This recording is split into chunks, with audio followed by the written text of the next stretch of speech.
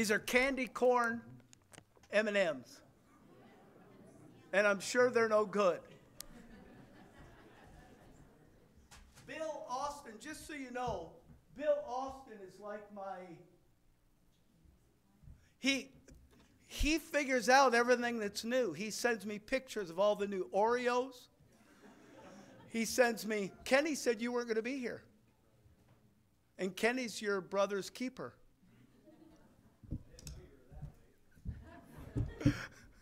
Kenny was wrong. First time ever. First time ever. Right, Amber? Bill Austin has this gift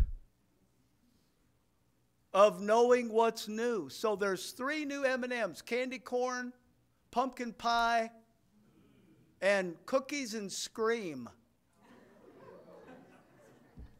I just figured we get the spiritual things out of the way first. And we're glad you're here. Glad you're with us. We're going to pray. Pray with me, would you please? Our Father, we came today because you're the reason for everything. And the fact that we show up in your house, that's not a big deal. The big deal is that you would come to earth and die for us. The big deal is that you would say, I'll take their sin, I'll suffer their hell, so that they can be with me forever. If they believe that what I did is exactly what God wants. If there's anybody here today, Lord, that's never trusted Christ, if there's anybody here today that's never asked Jesus to be their Savior, they need to do that today, God, and you're the one that can best show that to them. I pray that they'll see it in us. I pray that they'll sense it in us. I pray that it will be easy for them to tell that they're in church.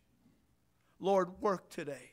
Answer prayer. Thank you for answering prayer. There's more prayer, God, that we need answered. And that's why we pray and we come to you. We just beg you, God, to work. Thank you for this day. I pray this in Jesus' name. Amen.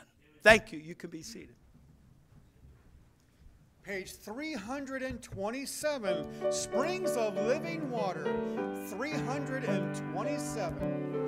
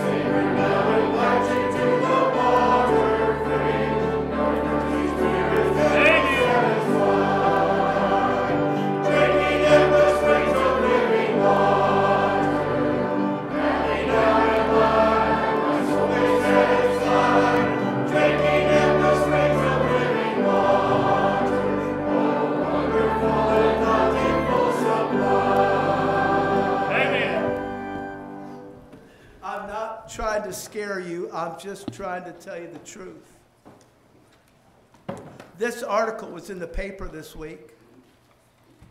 I'm not quite sure. I can trace it, but I just want to read the article to you and you can think about it. It says implanted microchip to replace credit cards and car keys. A microchip embedded under the skin will replace credit cards and keys. They're doing it in Sweden. The Swedes are able to have their embedded chip scanned by a conductor of a train who uses an app to match up their chip membership number with a purchased ticket.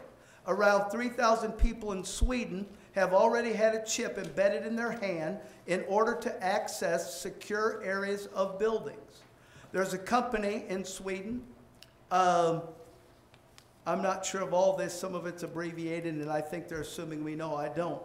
But it says that they have a company that is developing and making, and they're not concerned about privacy.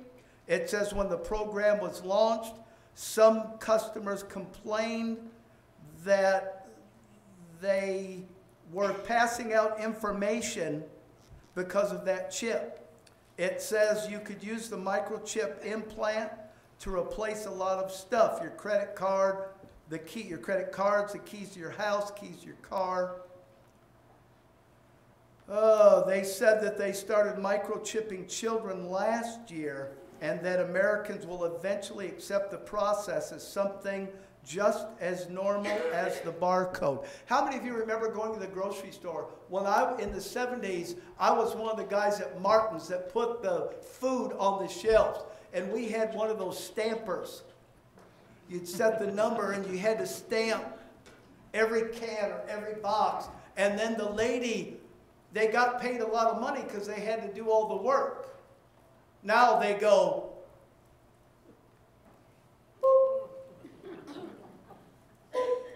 But they used to have, a, have to put all everything in. And we thought, man, is that amazing? With a barcode, everything's there. Inventory, price. It says that it's not a matter of if it will happen, but when. Concerns about, we know it's going to happen.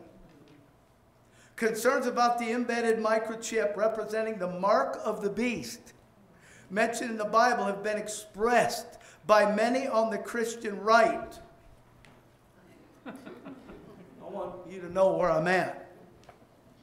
And it talks in Revelation 13, verse 16 and 17 about every man receiving a mark in the right hand or in their forehead. And that it's here.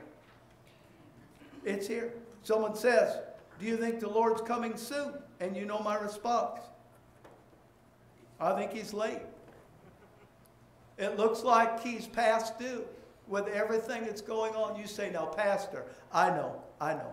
He'll be right on time. But sometimes doesn't it seem like, wow, I can't believe he's putting up with all this? We're glad you're here. If you have a bulletin, we'd like you to grab that. There are a couple of things we want to add to that so you know what's happening. Remind me before I'm done. Let me get my thing done. John Sheets then. Isn't it good to see John Sheets? He was just in the hospital Friday. Friday? Did you get up Friday? Saturday, yesterday, and he came to church today. And in the choir. And in the choir. Give him a candy bar. That's commendable, isn't it? Right? Amen. Some of you cut your toenails too short, and it's like, I'm staying home. I'm, hey. Choir at five. Choir at five if you're in the choir. Evening service at six. This Tuesday, Well, I'm, I'm debating this. Yeah, let, let's, Tuesday the 19th, there's a ladies' work day to clean the parsonage. The parsonage is empty. It needs, it needs a lot of work, and there's some real concerns and issues over there that we need to address. But see my wife, 10 a.m., they're going to meet at the parsonage, and the ladies are going to just get it spiffed up. They were going to do it for the fishing but we're not doing that. But there's still some things they can do over there. And you see my wife, is she down in, is she here? No? See her, she downstairs. If, if, uh, she'll let you know. But plan on that if you can. Tuesday, 10 o'clock, meet at the parsonage. If you come, let her know. If you can't come that day, it says that she'll set up another time. She can meet you there. Uh, She and others have been over there doing some work, trying to get that uh, just ready for, I don't know, maybe she's moving me in there. Tomorrow, jail service for the men, 8:30. Wednesday, midweek service, King's Kids Youth Group. Thursday, ladies' birthday lunch. That is at Angelo's. That's noon on Thursday. Several things in the future. September the 24th. There's a at 2:30 a service. Mil, Milgram, Milgram, Miller's Merry Manor. Milgram is Pilgrim and Miller's. At Miller's, no, the 24th, 2:30, Miller's Merry Manor, New Carlisle. Fred has that service if you'd like to be a part of that. See him. That's the 24th. 25th is a Monday. That's a jail service. Uh, is that two weeks from tomorrow? A week from tomorrow? A week from tomorrow. So there's one tomorrow and then one in a week. And then there is a note about the men's fishing outing. And John Sheets will come forward and give you info on that. We want to let you know if you've been a part of this, one of the missionaries we support is Chaplain Carl Ross with Forgotten Man Ministries up in Michigan. And he's doing a fantastic job. Roger is actually, Roger Pendle's actually one of the chaplains, and they have a big dinner every year.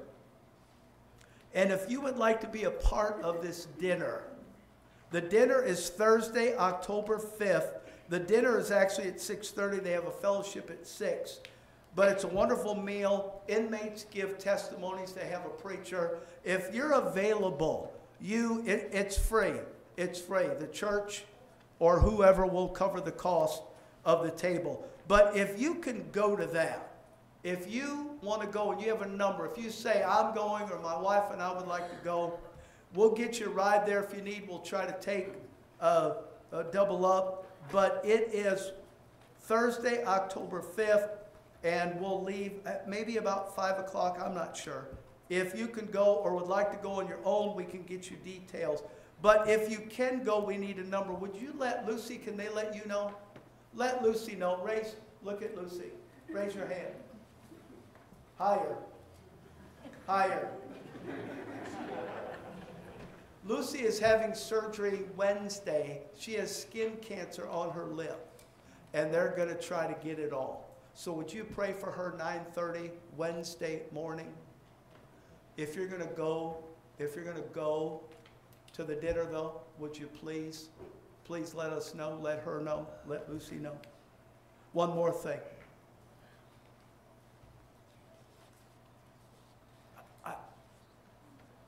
You all call him Steve.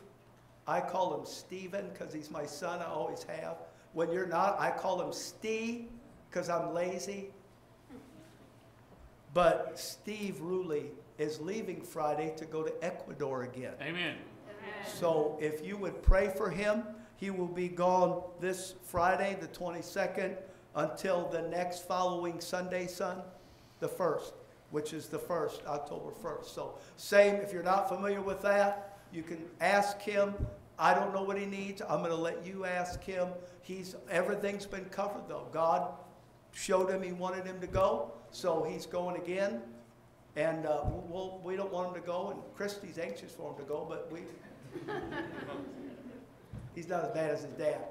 But uh, again, training the nationals over there, law enforcement, studying the Bible with them. There's always somebody saved. So if you would pray real hard about that for their safety as they leave Friday, early Friday, and then pray for that whole week as they train uh, the Ecuadorians and they preach to them and study the Bible and lead them to Christ.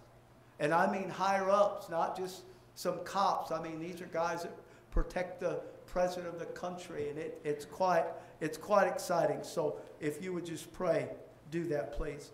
If you, there's a note there, if you've seen it, if you haven't, I'll read it to make sure you're aware.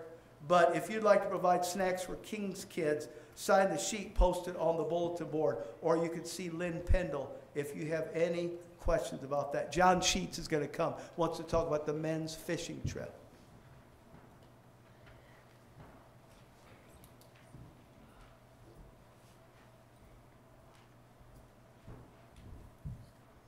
Woman. You don't have to stand up or, I honor you. I honor you. okay, the, uh, there's been some changes There's some issues with the parsonage that I don't think the men are gonna use it.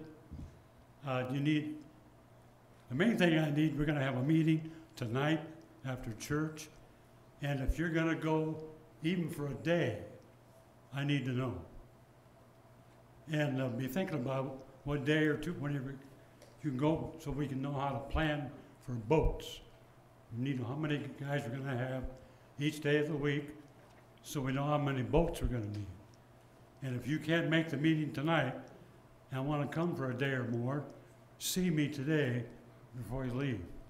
It's important that I know how many are gonna come for a day, two days, three days, whatever. Okay? But we're gonna discuss the issues, decide what we're gonna do about some things tonight at the meeting, right after church, downstairs, where we always meet. Thank you. Amen. He sounds better already. How much fluid did they take? Over three? How many? Three and a half liters. Three and a half liters of fluid outside of his lungs. Three times. I have a, a needle up here. It was kind of, kind of like that. And they jammed it into his back and then sucked out all the fluid. I knew you'd want to hear that because you're thinking about lunch. So I want to get your mind off lunch. If you're visiting, we're glad you're here. The ushers are coming. Pray for John. He sounds better already. I think he's already getting back his air and his wind and able to function better. So we're glad about that. If you, somebody you don't see, they might be on vacation, so they're running. I know the Palings were going to Florida, but that changed. So they went to Colorado. That's almost as good. Pray with me. Father, thank you for the day. Thank you for meeting our needs. Thank you for loving us when the Bible says we were yet sinners. Thank you for showing us love and sending Jesus. Work and speak today, please. Thank you for how you take care of us. Thank you for showing us how to trust. Lord, we don't always like that, but when we look back on it, we know that that's the greatest lesson besides being saved that we've learned. Thank you for what you're doing in John Sheets' life. Thank you for the safety you gave George Newton all the way to California and back. And God, now just be with those who aren't here today. They're different places, uh, some up north, some out west. Just give them safety as they travel. And Lord, make this day uh, a great day for us. Speak to us, challenge us. I pray this in Jesus' name. Amen.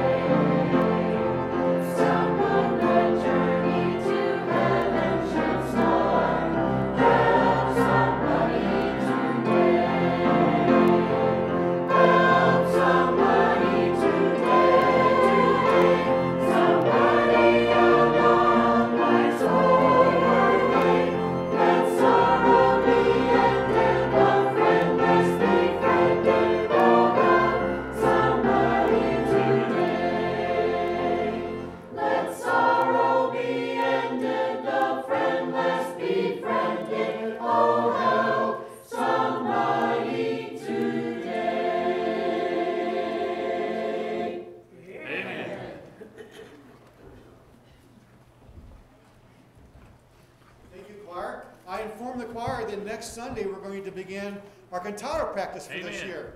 So this is a, a, a plea, I guess you might say. For those of you who are not in the choir and you want to be in the choir, come and join us. We, we'd love to have you, except for Doug. He can't sing. Doug, you cannot come. No, even you're welcome. So if you want to be in the choir and you have a desire to sing, use your voice for the Lord, come see us. All right, 340 in your hymnals, Verily, Verily, page 340. Let's all stand, shall we? On the first verse, junior church and primary church, you may be dismissed. On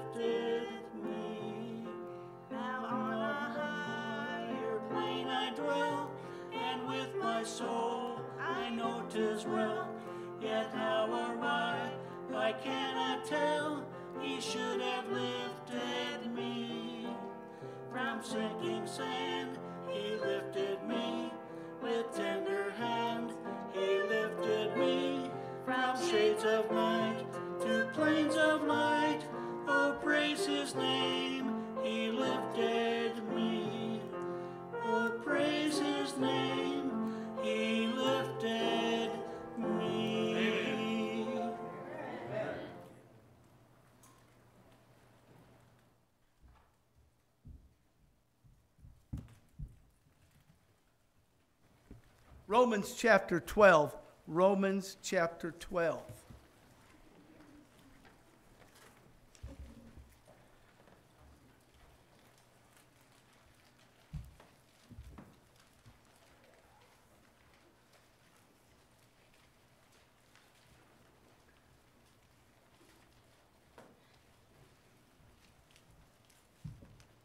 Romans chapter 12. If you have a Bible, that will be great. That's what we do. We use the Bible. If you don't, you can look on, you can listen, you can, uh, you have it on your phone or your pad or wherever you have it. Get it out. Power's in the Bible, power's not in me. Amen. Romans chapter 12. Romans chapter 12. I, I don't know. A lot of times, look, most of the time I don't know what I'm doing. And I don't know what I'm doing today. But for some reason, I, I'm supposed to preach this message. And I don't ask why. Amen. I just do it. So maybe it's for me, maybe it's for you, maybe it's for tomorrow. I don't know. Romans chapter 12. We'll read it and then I'll tell you what we're going to talk about. You'll get it as we read it.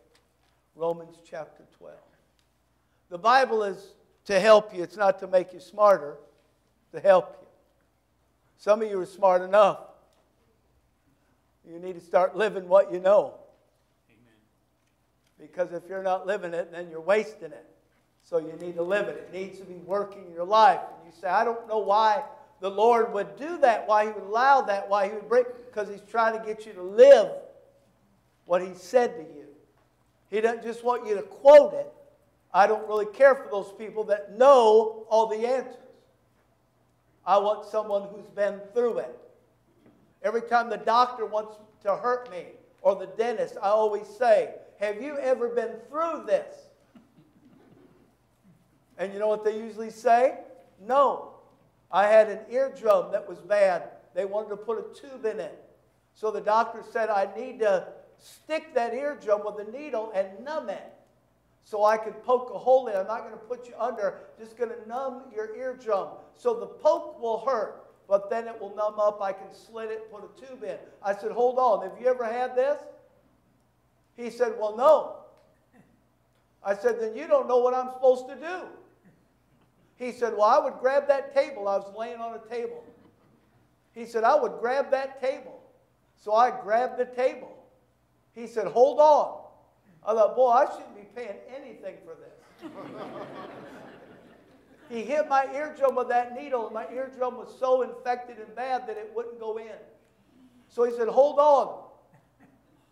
Man, I was gripping that. He, and pretty soon, when he jabbed that eardrum a couple of times with that needle, he said, Let go, you're going to pass out. Because I had a grip on that table, man. If you've never had that, I can't explain the pain to you. Jesus didn't put you here so you could tell everybody what you think. Jesus put you and I here to tell everybody what we've been through. Amen. Romans chapter 12, verse 14. Bless them. Watch this now.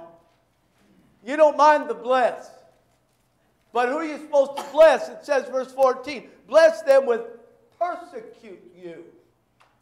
What? Bless them. Wait a minute. Are you telling me the Bible says when someone goes after me, when they talk me down or talk bad about me or treat me bad, I'm supposed to bless them? I didn't come up with that. I didn't say that. The Bible did. See why I didn't want to preach this? I'd rather curse than bless. You say, well, man, that's horrible. Yeah, but he says, bless them with per- which persecute you, bless and curse not. Think about it. When someone comes after you, when you go through a hard time, when you don't like something that's happening to you, when someone treats you bad, you want to get back at them. The Bible says, the Bible says, boy, it's one thing to know this, one thing to quote it, it's another thing to go through it and have to practice it. Amen. You say, well, couldn't the Lord just keep everybody that wants to persecute me away? I'm still around. I'll persecute you. Verse 14 again, bless them. Got that? Bless them which persecute. Bless them. God bless you. God be praised. I hope God does his best for you. You say, wait a minute, I could never do that. Then you're not saved. Then you don't have the love of God. You don't have the new nature from God in you if you can't do that. He didn't say don't struggle with it, but if you can't do it, something's wrong with you. Something's missing. Something's missing. Verse 15 Rejoice with them that do rejoice, and weep with them that weep. Be of the same mind one toward another. Mind not, verse 16, mind not high things, but condescend to men of low estate. Be not wise in your own conceits. Verse 17, recompense to no man evil for evil. Provide things honest in the sight of all men. If it be possible. I'm glad he put that there. Amen. You know the problem with that, though? When I think I know what's possible, the Lord always reminds me that with God, all things are possible. But God goes, look, if they don't cooperate, if it be possible on your side, do it. Verse 18, if it be possible, as much as lieth in you, live peaceably with all men. Now, there's some guys don't want to talk to me. There's some people don't want to talk to me. They don't like something I've done. They don't like a stand, something I've stood for. They don't have the option of whether or not I am peaceable towards them. Verse 14 Bless them which persecute you. Bless and curse not. So if someone chooses to persecute me, they do not have the option of how I treat them. As a Christian, I'm supposed to bless them. As a Christian, verse 18, I'm supposed to be as peaceable to them as I can. You say, I don't like that. Me neither. But that's what Christians. That's what sets us apart. Verse 19. He says, Dearly beloved, avenge not yourselves, but rather give place under wrath. I'm going to ask you a very personal question. God ain't going to send you to hell over this. Scott, turn this camera off. Don't put this camera on the people. We don't want, we, are going to see some hands. Shoot the one down the middle so we don't get many hands. How many of you have ever gotten mad?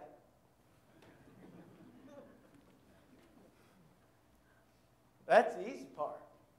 Hard part's not getting mad. He says to us there,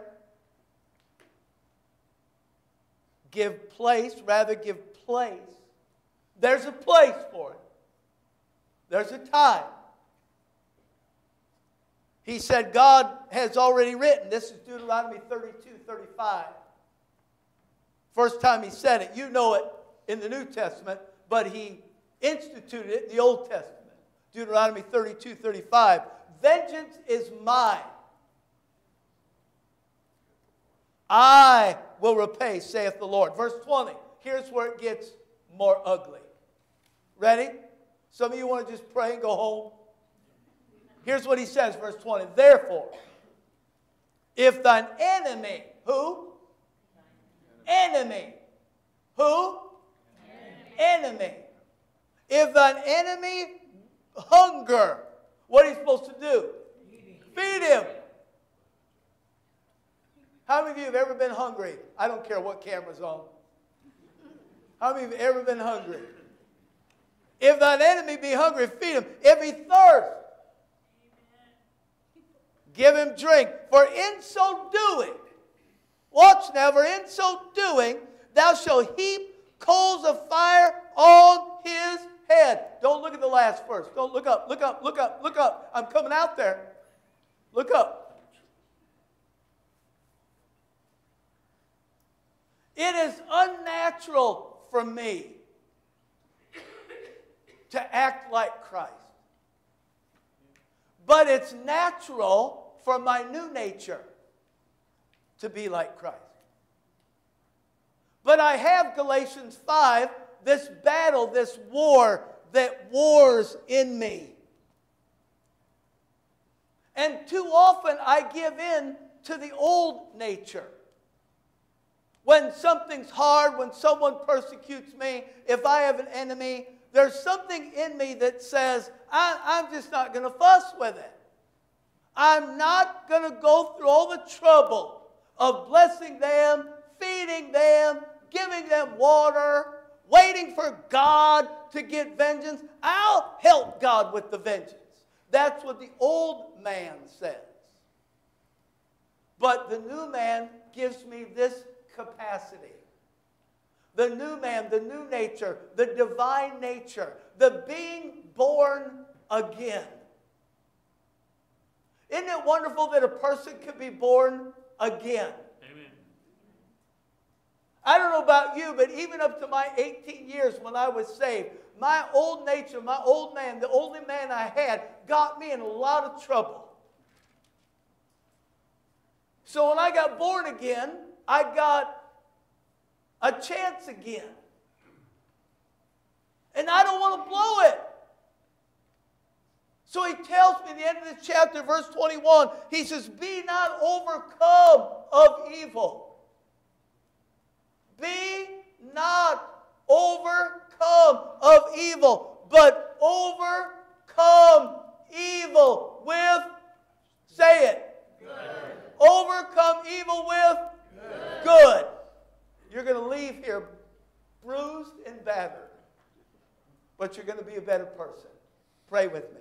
Our Father, there is so much that we fail in. And thank you for dying for failures.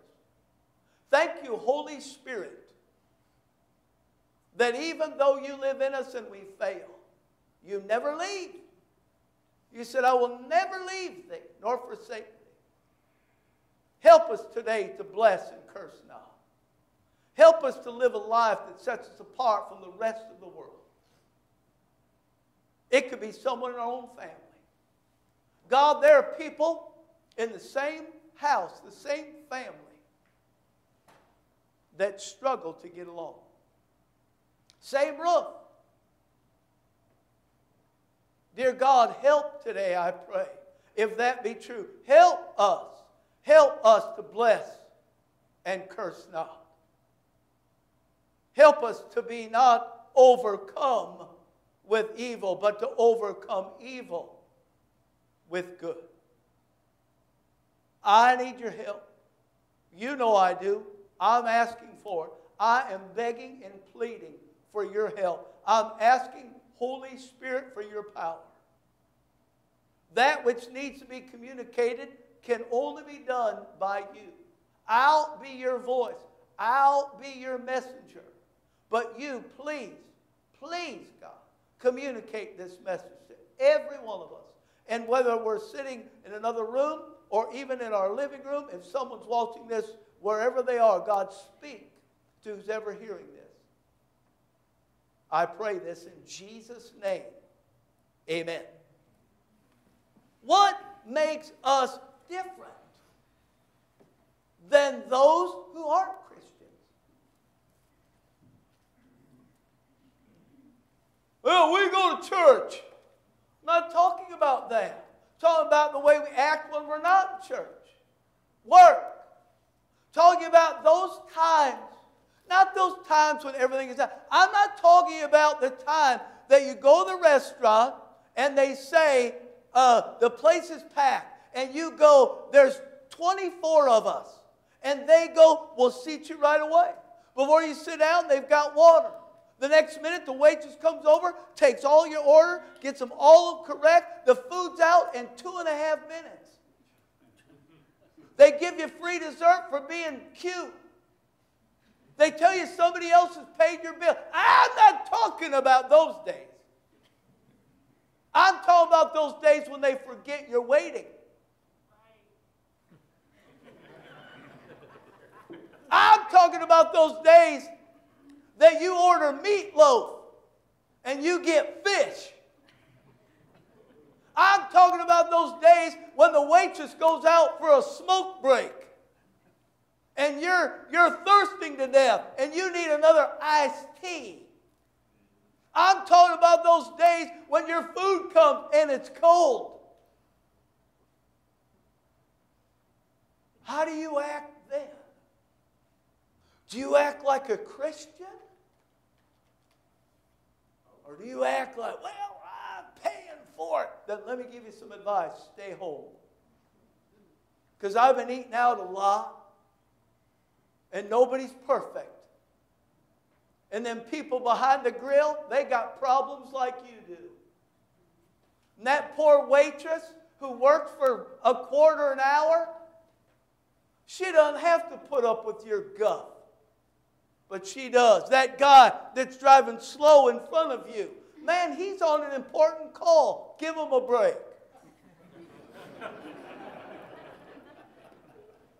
what do we do? When a Christian dies, they go to heaven. John 14, in my Father's house are many mansions. If it were not so, I would have told.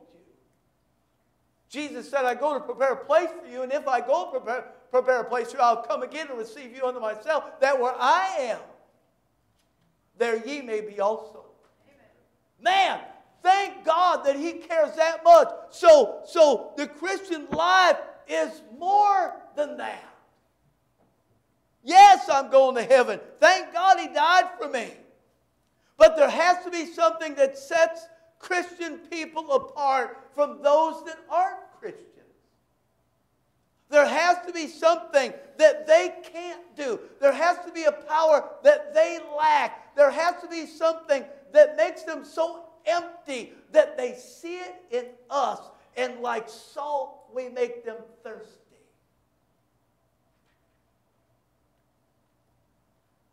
It's the way we treat other people that treat us bad. It's the waiting. Are the biggest liars there are. You get a 1:30 appointment, you wait in the waiting room for 45 minutes. The doctor will see you now. No, he won't. They'll put you in another room. You know what she says to you? Another lie. The doctor will be right with you. I always go to the doctor with a stack of books. And I walk in, and they always look funny, but they never say, What are the books for? They know. Everybody, I take my Bible, I take something to write. Why? So I'm always waiting. And I don't know how you do waiting, but I'd rather have both legs amputated than wait. There's something about sitting there. I went to see John Sheets the other day and I admired him because he's laying there with oxygen. And I said, John, I couldn't do this. I couldn't just be laying in this bed doing nothing. He was probably very busy. He's probably solving the world's problems. And, but I couldn't just wait. I'm not. And so God, once in a while, God will send me one. When you're at the store, that little short line, I jump in that little short line. And all those people that were 27 people back are waving as they go out the door. I'm still waiting. what do we do? Three things. Number one, let's shoot through these real quick. In order to put up with bad treatment, in order to get through this world, when those that, whether you deserve it or not, whether you think they should, when they treat you bad, you got to deal with it. You deal with it this way, number one. He tells us, number one, verse 14, we're supposed to bless them. Number one, bless them.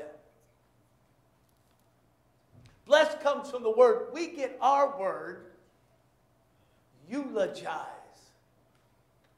eulogy. I saw my cousin a couple weeks ago. Let me tell you this story. When I played music, my whole life was music. I didn't have a girlfriend. Amy came along and messed everything up. When I played music, it was all about music. I loved music. We practiced all the time. We practiced hard. We practiced long. We practiced over and over. And, and for five years, for five years, I can count two weekends that I did not play somewhere. We practiced, we played. We weren't just a rock band.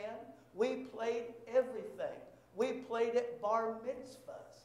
We played for the openings of new buildings. We played at movie theaters before movies. We played for weddings. We played in nightclubs. We, we played at anniversary parties. We played at golf courses.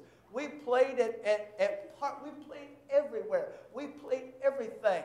And any, you take this how you want. Any idiot can get up and rang, rang, rang, rang, and play rock and roll. But when you learn to play waltzes, when you learn to play all these slow, difficult songs, we practice all the time. I saw my cousin who was the leader of the band. I grabbed him. I said, Hey, there's something I need to tell you before you die. And he goes, Am I dying? He's five years older than me. I said, Probably. I said, But let me please tell you something before you die because I want you to hear this because I'm saying this at your funeral, but I decided you need to hear it before you die. He said, What is it? I said, Thank you for making us practice so hard when we were playing together in the band. I said, You helped me with some character issues. You helped me with some disciplines that I'm enjoying the fruit of now in my life. Now I understand. I said, You were like an old man. I was 12. You were 17. I thought you were 89, yelling at us, telling us we're going to, man, I wanted to go out and party. I wanted to have a fun. I wanted to, you know, goof off, but we had to practice. I said, thank you for that. He looked at me, he said, wow, I don't know what to say. I said, you don't have to say anything. I just wanted you to know that I'm thankful that you gave me something in my life that it helped me, even and hopefully until I die. When you eulogize someone, in 35 years, I've had a couple bad funerals. I had that one where that ex wife snuck in from the side, pushed me to the side, and began to curse her ex husband at the funeral service. If I'd gone through that every so often, I would know what to do, but I kind of sat there like. And finally, the funeral directors came in and helped her out. She wasn't eulogizing, she was avenging. He was a plague and he couldn't. I'll tell you, he. He, I, and I thought, man, I've been to a lot of funerals. And we all were so shocked that she went on for a while until somebody figured out, hey, this is not good. And so they kind of walked in and escorted, and she's still mouthing off as they were pulling her out of there. Man, I don't want to live a life that somebody wants to curse me when I'm dead. Listen to me. When, when someone does you wrong, you speak well of them. That's what eulogize means. You say, well, you know what? They don't deserve it. It's not, listen, Jesus died for you when you didn't deserve it. Don't, don't try to tell God about what other people deserve. Because God died for you when you deserve the hottest hell. There'll always be. Some of you are as sweet as pie. Some of you make my teeth hurt when you talk. You're so sweet. But there'll always be someone who doesn't like the way you act. There'll always be someone who doesn't like the way you live. There'll always be someone that doesn't like the way you believe. When people hurt you, bless them. Say, well, I, I think I'm going to fail at this. Yes, you are. Yes, you are. But you keep doing it. You keep doing it. You keep deciding that you're going to let God to be the one that has the authority to send someone to hell. That's what curse means in verse 14. You can't send someone to hell. God's the only one that has that authority. And you and I need to know that. My, my, I don't know what's going on. I've never heard someone sneeze more than my wife. She'll wake up, and I think she's kidding. So I'm trying to do the proper thing. If I'm in another room or downstairs, I can hear. She'll, I'll bless you. And she'll go 37 times, and I'm, bless. she'll go, you can stop. I don't want to stop blessing her. So very soon, yeah, yeah, I'll go bless you. But you know what? I don't mean it. I just want her to stop. I don't, I don't want there to be something wrong. But I know that she's been doing it every morning, so I know that she doesn't have a sneezing disease. There's just something, maybe she's allergic to me. And so, man, she kicks into this tirade of sneezes. And it's hard for me just to sit there when she's out chewing. And I'm not saying, so I say, bless you, should let another one rip. And I don't know how bad they are. Mine are bad. I'll bless you. Bless you. I'm not talking, listen, I'm not talking about that. I'm talking about when someone says something ugly about you. You say something good about them. That's tough. I'm in a store and someone sneezes, I bless, bless you. They'll go, thank you. Then how do I say, I don't mean it. I mean, what am I blessing? If I really wanted to bless them, I'd give them a tract, tell them how to get to heaven. Huh? They sneeze. So we think we're super spiritual because we say, bless you. And we should say, God bless you, but we shorthand it and say, bless. We make it, it's two syllables, bless you. We make it one. Bless. It should be God bless you. But we don't do that. Human nature is not an eye for an eye. Let me tell you current human nature. Current human nature is if you poke out my eye, I'm going to poke out both your eyes and make you eat them. That's the way we live. Road rage. When I was a kid in the Studebaker, I was so excited the other day we were driving down the road, I saw a Studebaker Lark wagon, like I grew up with. Rode in the back of. Remember the window had come up? I'd hang out the back like a dog. I can remember riding that. We didn't, when I was a kid, they said, we didn't have road rage. You just passed them. You know, you didn't throw things at them. You didn't pull out a gun. Think of what we've come to. We don't bless anymore. Is there somebody that hates you? Do good to them. Is there somebody that curses you? Bless them. Has someone mistreated you? Pray for them. But our old man, our human nature says, I'm going to pay you back with interest. Whatever you did to me, I'm going to do more to you. That's not blessing. The Bible says, verse 14, bless them which persecute you. And by the way, it doesn't say it like verse 18 does, if it be possible. Number two. Say, I can't handle number one. Yeah, it's going to get worse. Number two. Supposed to bless them. Number two, you're supposed to know them. He says, if they rejoice, rejoice, verse 15. If they weep, weep. The only way you can do that is if you know them. We don't know anybody anymore. You know why we do the fellowship song? Watch me now. Watch me now. This is not the fellowship song.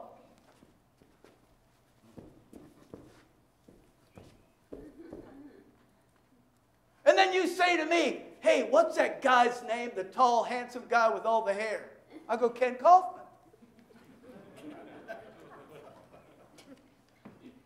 hey, hey, hey.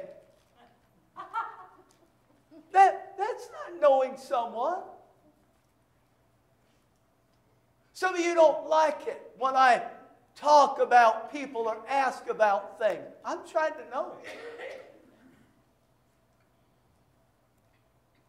I, I don't want to go through life. Hey, hey, some shame on some of you that you don't know everybody's name. Who's that one guy sits up there, the loud guy? Doug? Yeah, him. Well, how come you don't know his name? We're afraid of it. He won't bark at you.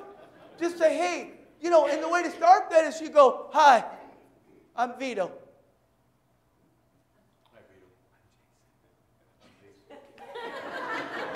Normal people.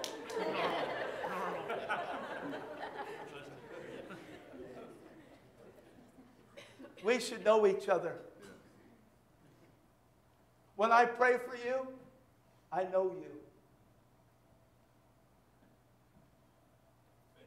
I want to know what's going on. If I go by, there, there are places I go by that trigger.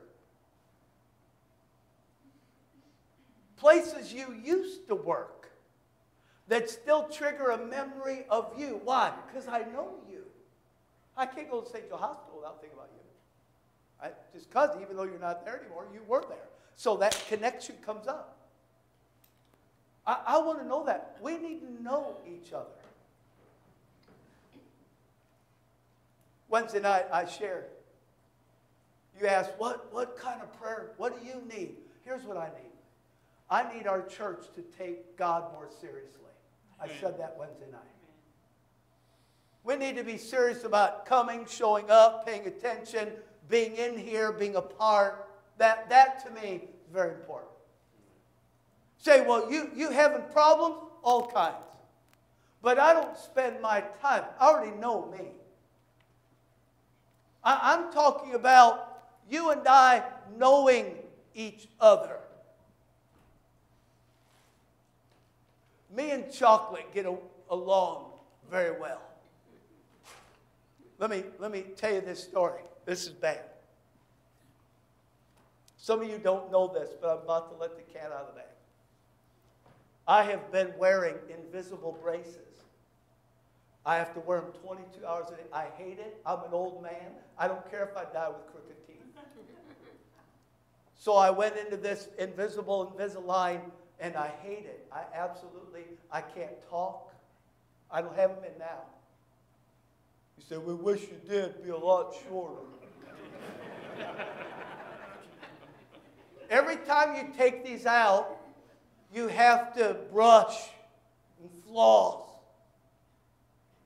and put them back in. And I'm going on my third month, and every time I eat, I have the counter full of chocolate covered Twinkies and chocolate cake Twinkies.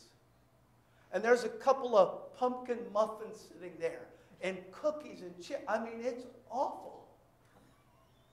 But now when I eat, it's like it's my last meal.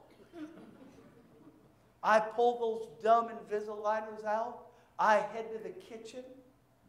And I'm like one of those birds that swoop down to eat that squirrel that's dead in the road. I don't need a lot of it. And Amy, she'll see me. I'll be at the counter and I'll just be trying to decide what should I eat? What can I eat? Because I'm not, I can't do this all day. So I leave them in all day. When a meal comes up, I pull them out, I brush my teeth. After I'm done, put them back in. But if I'm home, if I'm out, I'll go, I need a cookie. We got to find a cookie. and she'll go, You are so pitiful. and I'll go, You knew this 40 years ago. She said, Man, I never thought you'd do that. I said, I don't need to eat a lot. but I need to eat what I want. Be sensitive about the feelings of others. Hey, I'll have three of those and be happy. But I'll be happy. Be, be, when someone rejoices, watch now, watch. When someone rejoices, human nature says, I resent that because you have something that I don't and I'm jealous. Man, we, we need to ditch that. Amen. We need to just ditch that. Sometimes it's hard to rejoice over somebody else's victories. But when you know someone well enough, verse 15, that you can weep with them, you know them. Ought to be weeping with each other. Ought to be close enough to each other that when they rejoice, we know about it. When they're hurting, we know about it. Psalm 56 and verse 8. Psalm 56 and verse 8 says, Thou tellest my wanderings. God knows when you get away. The psalmist says, Thou tellest my wanderings. And then he says, Put thou my tears into thy bottle. And then he adds, Are they not in thy book? God keeps track of every tear that you shed. You know why? Because he knows you and wants to know you. And he puts your tears in a bottle and he treasures them. Let me share. I hope I shared this story before. Let me share it again. In Bible times, when a family entered the temple, you actually went in one door, and they had, like many places do now, an entry door and an exit door. In the temple in Jerusalem, they had a door that you entered the temple, and you had a door that you exited the temple. Whenever a family lost a loved one, whenever a family in Bible times went through sorrow, they were told to go in the out and out the in. Say, well, why did they tell them to do that? So all the people that were coming in as that family going through sorrow was going out. So all the people that were coming in could see the sorrow and share it with them and know it. And when everybody that was coming out of the temple saw that family coming into the temple, they could see their face. They could confront them and see their face. How many times have we come to church and we really don't look at each other? Hi, hi, hi, hi. We don't even say words. How you doing? Uh. How's everything? Uh. How do you spell that? Everything go okay? Uh. Hope to see you again. Uh. We pass by them. We're not even aware of what they're going through.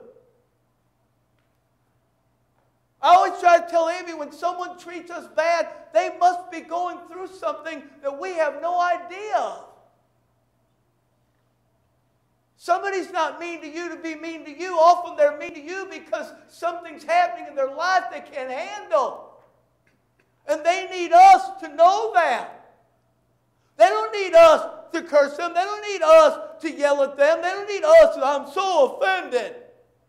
The disciples said, Hey, we don't want to be offended. Jesus said, Man, you guys are in big trouble, Luke 17. He said, Because offenses are going to come.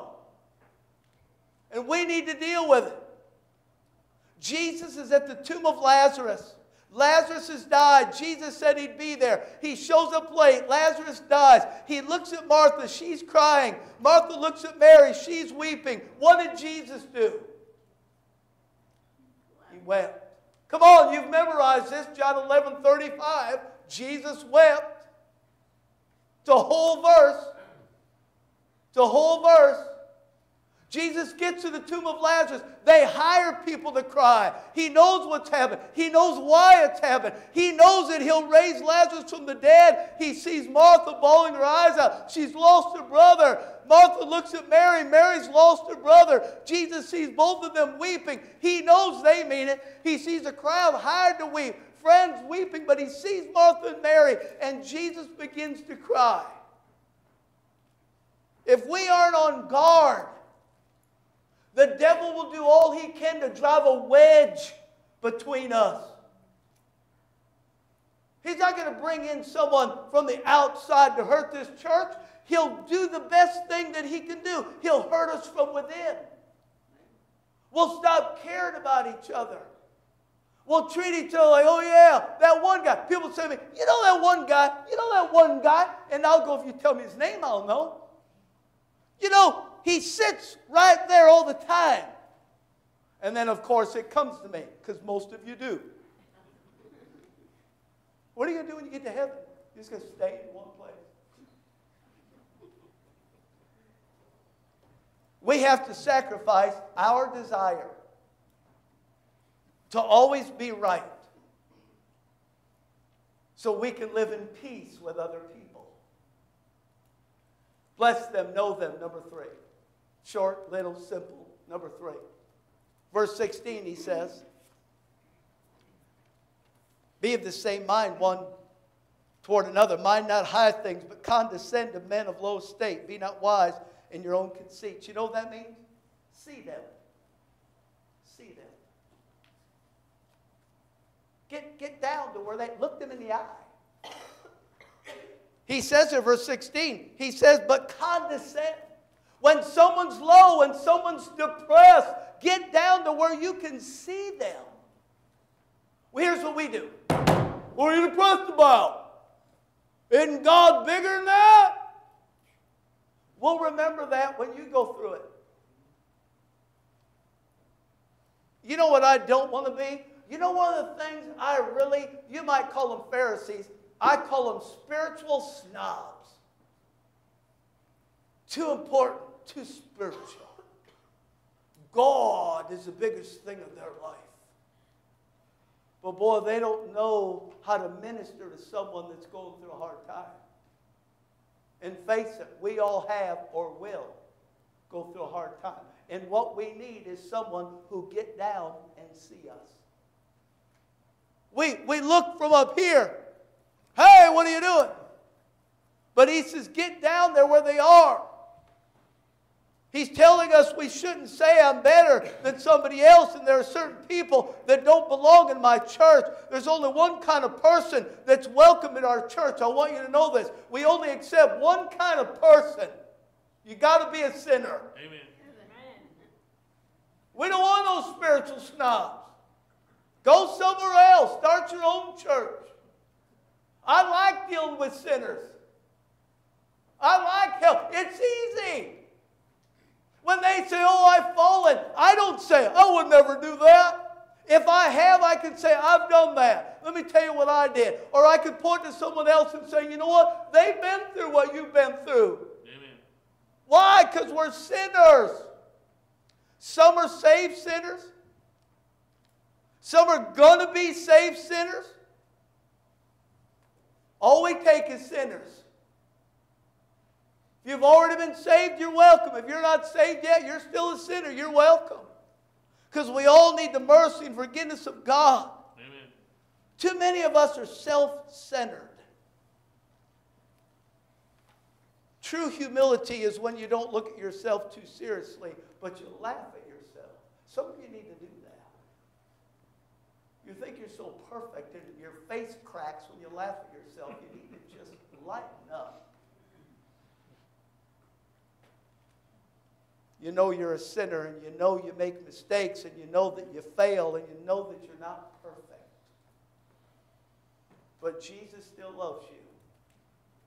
And Paul doesn't let us off the hook because he closes this chapter and he says, Be not. In other words, you don't have to be overcome with evil.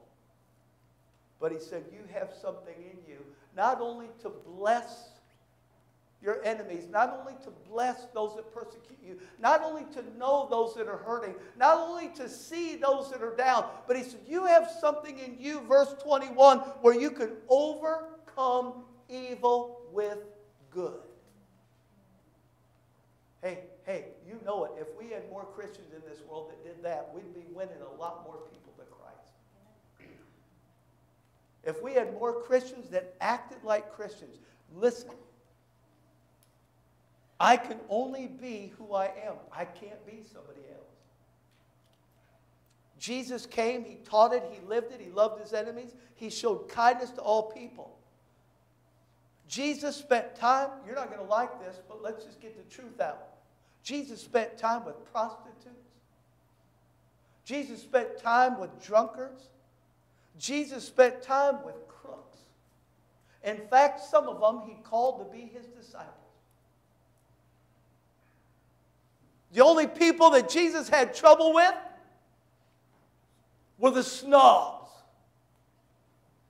the Pharisees, the religious people. They thought they were better than everybody else, but the common people flocked to him because he accepted them. Are you treating other people right? Are you treating the people that treat you wrong? Are you treating them right? Here's, here's, you want the bad news? Here's the bad news. I'm done. That's not the bad news. That's the good news. Here's the bad news. Now that you've heard this, God's going to test you. So I would do a couple of things. I wouldn't go out to lunch. I'd go straight home. I'd lock myself in the closet. I'd turn my phone off. And I would just pray that God would give me strength to handle whatever comes. Because I know if it doesn't happen to you, it's going to happen to me. Amy will say to me, What'd you preach on today? You know what I'll say to her? Buckle in. Buckle up, it's coming. She'll go, Oh no. You talked about the devil, didn't you? Well, we tried to. I'll say, No, I talked about people, you know, cursing us and making us where we will. Oh, she'll go, Oh no. Hey, it doesn't happen to you. I know it's going to happen to me. See why I didn't want to preach this? Pray with me. Your head bowed, your eyes closed. Every head bowed, every eye closed. Father, it's no good if we come to church, read the Bible, and then leave these walls and go out into a world that needs you so desperately. It will do them no good if we don't act like Christ. So may you help us. Help me. Others are going to have to pray for themselves. I'll do what I can for them, but right now, I, I just, I need you. Help me to be like Christ, no matter how someone treats me. Lord, if there's anybody here that's never asked you to be their Savior, if they sit here today and they've never trusted Christ, if they don't know 100% certain that they'd go to heaven, right now, that's their biggest problem. Please show them that Jesus is the only way. He's not one of the ways, He's the only way. Please show them, dear Lord, that nobody can get to God except through Jesus. So Jesus came, He died on the cross, He went to the grave, and after three days, He rose from the dead.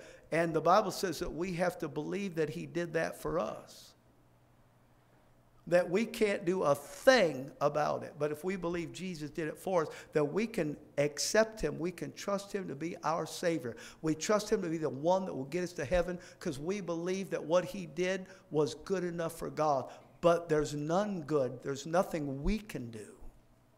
Lord, if there's anybody here today that's not saved, please, please speak to them. And for the rest of us, Lord, for the rest of us who deal with bad situations. For those of us who deal with being hurt by words said or deeds done. Oh, dear Lord, please help us to handle it like Jesus. Help us to bless people. Help us to know people. Help us to see people. Your head bowed, your eyes closed. We'll do this quickly. Your head bowed, your eyes closed. Preacher, there's something in my life God's speaking to me about. There's something I need to take care of. Something, something, something I, I want to take care of before I leave today. Let's make it specific. Preacher, I want to be like Jesus no matter how people treat me, no matter what I go through. I want to be there for people. I want to help people. I want to know people. I want to bless them. I want to see them. Preacher, God speak to my heart. God speak to my heart. Here's my hand. Here's my hand. Here's my hand. Up and down. Up and down. Preacher, God speak to my heart. Up and down. Up and down. Up and down. God speak to my heart. If you're here today and you're not sure you're going to heaven, please let us show you what the Bible says. Please, please come to me. Please let us show you how, how you can know. And if you're a Christian and you leave here and you're struggling with something, please, please take care of it before you leave. Dear Father, may your Spirit convict us. We ought to be deciding. We ought to know what's right. We ought not need the Spirit of God to show us our sin. It's so ugly and so uh, counter to what you are. We, we should be dealing with it. But please, convict us now so that we make the decision that we need to make so that we can act like Jesus. I pray this in Jesus' name. Piano's going to play. She, she's playing, you're standing. As you stand, if there's a decision you want to make, you come as you stand. You come as she plays. If you want to talk to God, if you want to leave here and go, you know what? I need to make sure I handle life like Jesus would. I want to make sure when people are mean to me, when they hurt me, when they cuss at me, when they treat me bad, I want to make sure I treat them right. He said, You don't have to be overcome with evil, but you can overcome evil with good. It's in you. You have the capacity to do the right thing. You have the capacity to live how you're supposed to live. She's playing. God speaking to your heart. What are you going to do about those people that you might consider your enemy? What are you going to do about them? Bible says, feed them if they're hungry. Give them water if they're thirsty. Do what Jesus would do. Vengeance is not yours. That's God's. Vengeance is not yours. She's going to play it through one more time. If you need to come and have it, you come on. You come on. If you're praying, thank you. If you need to come, come on.